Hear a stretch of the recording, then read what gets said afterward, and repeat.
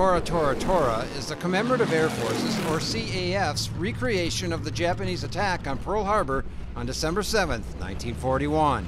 It's designed as a living history lesson and is intended as a memorial to all the soldiers on both sides who gave their lives for their countries.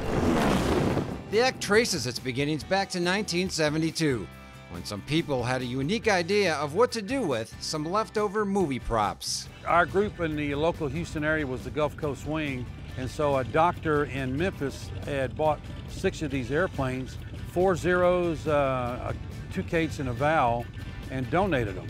They were down at Harlingen, nobody wanted them, they were just modified T6s.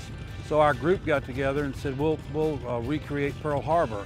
Uh, it was shortly after the movie Tora Tora Tora, which was in 1969. So we went down to Harlingen, a group of us, and got them all airworthy, brought them home, painted them, and uh, put the act together. And turning these American training aircraft into Japanese warplanes took a lot more work than just throwing on a new paint job.